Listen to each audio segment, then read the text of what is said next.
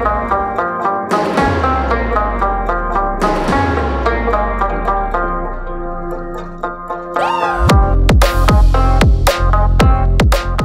हम लोग जलमी जो टैलेंट टैलेंटेड प्रोग्राम कर रहा है और लाहौर से अब अवाना वज़ीरिस्तान हम लोग आए हैं। तो यहाँ पे बच्चों को ट्रायल देख रहे हैं और आपके सामने है कि यहाँ पे टैलेंट देखने के लिए आए हैं। एक बच्चा छोटा है और आठ साल इसकी एज है।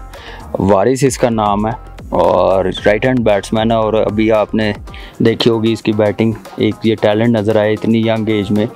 यहाँ पे इतना मज़ा आया और लोग इतने प्यारे हैं, प्यार करने वाले हैं क्रिकेट लवर्स हैं स्पोर्ट्स लवर्स हैं और जैसा इन्वायरमेंट है और यहाँ पे ऐसी स्पोर्ट्स होनी चाहिए जैसे जलमी ने ये प्लेटफॉर्म यहाँ पे लेके आए हैं इसका फ़ायदा इन बच्चों को होगा जैसे ये अभी हमारे साथ है।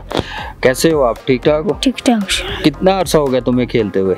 तकरीबन दो साल हो गए मैं क्रिकेट खेलता हूँ। दो साल हो गए हाँ? दो साल। यार आप इतनी यंग एज में इतना अच्छा आप खेलते हो। शौक है क्या तो इस जलमी के प्लेटफॉर्म से आप अच्छा खेलोगे आप टीम में आओगे? मेहनत करोगे और? इनशाला जब अच्छी बैटिंग होगी तो क्यों नहीं आऊँगा? ज़रूर शाबाश इनशाला इतना टैलेंट है मुझे पूरी उम्मीद है कि इंशाल्लाह ये जलमी के प्लेटफॉर्म से इसका टैलेंट नज़र आएगा पूरी दुनिया में पूरे पाकिस्तान में जितना अच्छा ये खेला है। आपने देखा होगा नेट में। तो ऐसे टैलेंट हम लोग ये जलमी फाइंड आउट कर रहा है कि ऐसे प्लेयर्स हम लोगों को मिले।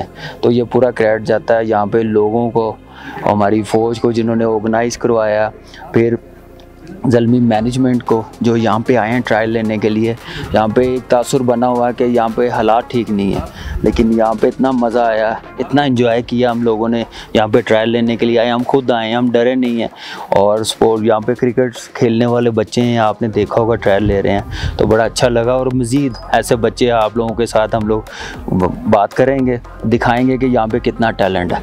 Well done thank you